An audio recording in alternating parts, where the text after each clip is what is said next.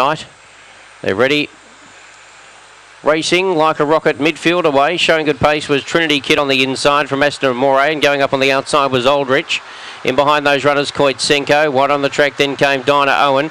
Now the favourite, like a rocket's well out of it there with Predemonic and Golden Romance. Coming up to the corner, Trinity Kid, a narrow leader on the outside. Dinah Owen pounced on it quickly though, and Dinah Owen went to the lead. Dinah Owen from Aston Moray. Third flashing was like a rocket, I think. Close up was Aldridge and Trinity Kid. Then came Koitsenko. Uh, well back there was Golden Romance and Predemonic, and the runners around 22.67.